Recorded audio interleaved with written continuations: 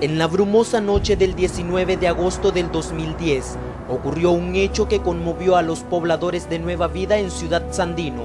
Un hombre, cegado por los celos, asesinó sin piedad a su esposa. Ana María Lindo casi es cortada en dos por quien una vez le juró amor eterno. Este caso fue de terror.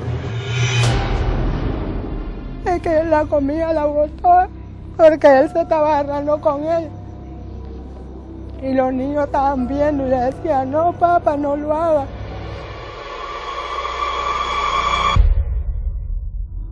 Y él malo así, y le decía, usted le tiró un cuchillazo a la niña. Dicen que en el pleito él dijo, y yo los voy a matar a los dos ustedes, y la voy a matar a ella y me voy a matar yo para que no quede nadie de la familia. Y entonces lo hizo, pues.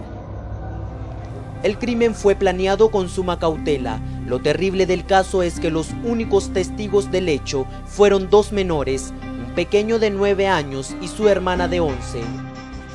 Gritaba la niña, dice auxilio, van a ayudarle a mi mamá. Y la familia de él es vecina de ella y no se acercaron, eran las cinco y media, ¿cómo no iban a estar ahí? En más de dos ocasiones, el homicida y su víctima habían enfrentado problemas legales.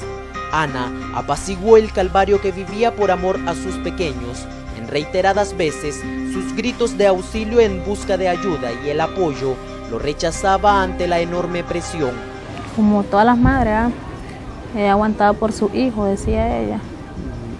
Todo el tiempo decía por mi hijo y pues, eso murió, por los hijos. La investigación policial señala que Jairo esperó a su víctima en una parada de buses para evitar que se fugara. Mediante la fuerza la llevó hasta la casa a vista y paciencia de todos en la calle. Y dentro de la casa, el asesino la tomó del cabello y la lanzó contra el suelo. Acto seguido y frente a sus hijos, de la manera más fría, propinó seis estocadas. La última, según el forense, la más letal. En una ocasión ya había estado, este, ella la había, este, sí, había denunciado por un tipo de secuestro, pero ella no quiso interponer denuncia en esa ocasión. Y en otra ocasión este, la secuestró al lado del 7 Sur y salió a ciudad, al lado de Ciudad Sandino. Al llegar por el hospitalito, ya se mete al hospitalito y la lesionó. Bueno, yo lo que le pido a las autoridades, tanto a la policía como al Ministerio Público, es que nos ayuden a capturarlo, porque no queremos que este delito quede impune. Tres meses han transcurrido de este lamentable hecho. Jairo permanece prófugo de la justicia. Hemos tenido un sinnúmero de versiones acerca de la posible ubicación desde el mismo momento en que se dieron los hechos, porque los familiares de, parte del, autor eh, estuvieron participando e incidiendo precisamente en la protección de, este, de esta persona.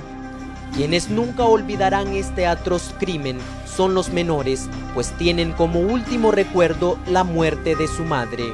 Ambos infantes se encuentran en medio de una disputa legal. Pese a los esfuerzos, el feminicidio es un cáncer que prolifera en los países latinos y Nicaragua no es la excepción. El silencio para una mujer víctima del maltrato es el camino a la tortura y en última instancia a la muerte. Con imágenes de Erasmo Hernández, para Crónica TN8, David Solórzano.